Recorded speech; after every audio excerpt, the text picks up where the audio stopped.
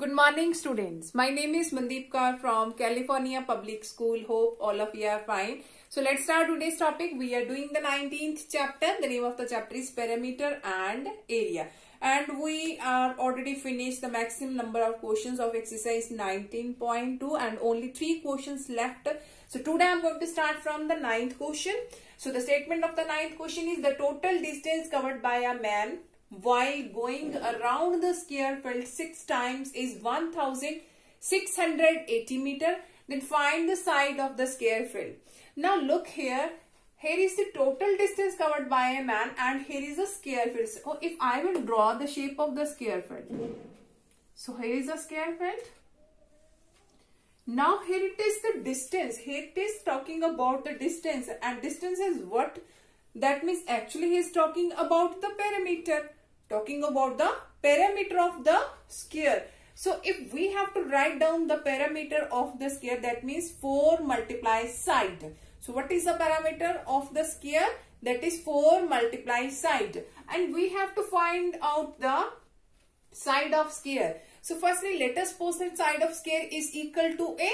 So let side of square side of square so that is equal to A.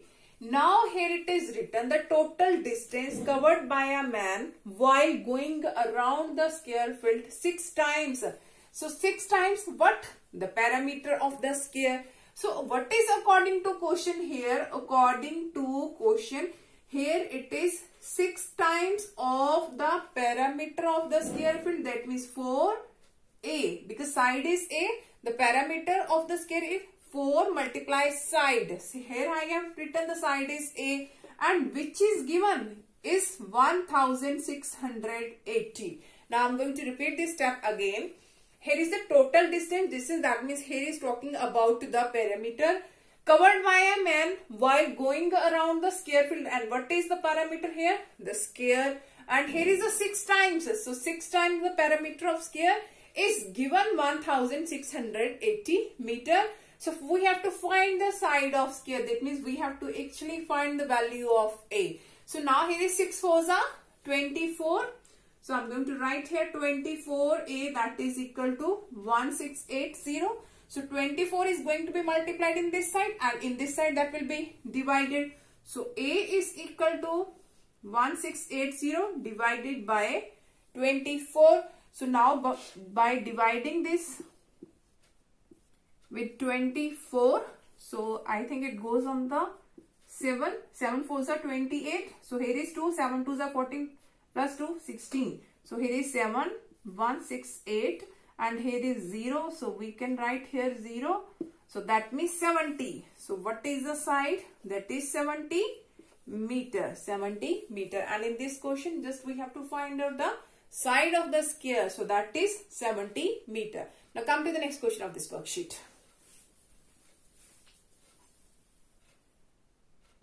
Okay, now the next question is the area of rectangular field is 465 meters square and its length is given 31 meter and in the first part we have to find out its breadth. So here is the rectangular shape. So I'm going to draw here the shape of rectangle. So its length is given 31 meter. So that means that is 31 and we have to find out its breadth. So let us suppose its breadth is equal to B. So let the breadth of it is equal to B meter.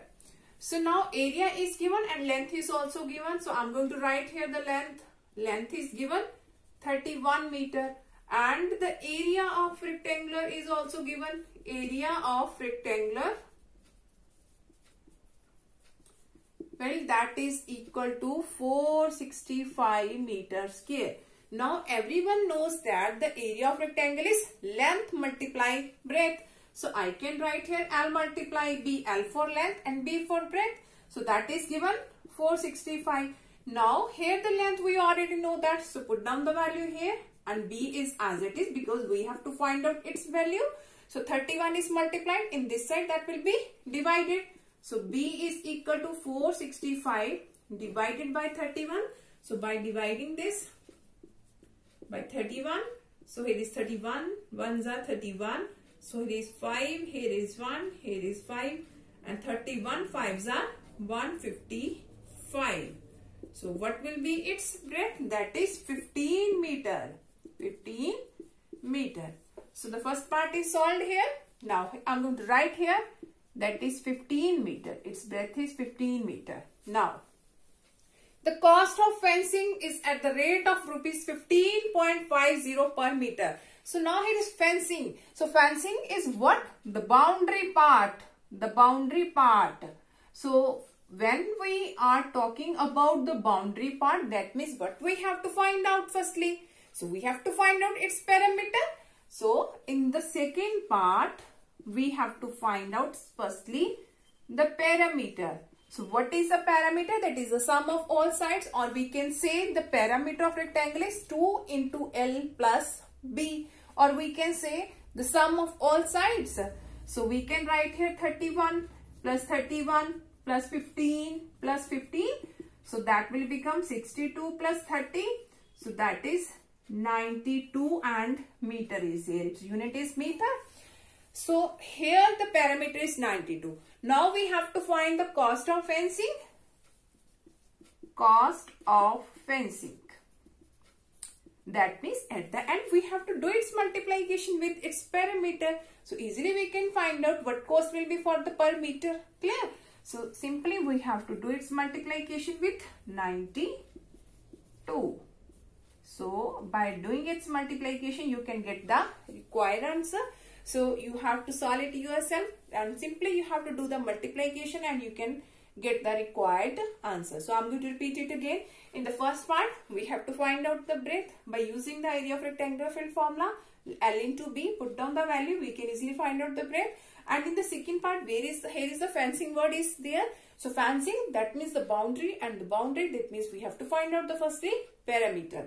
So after that, how can we find out the cost? By doing its multiplication with the parameter, we can easily find out its cost of fencing. So now come to the last question of this worksheet.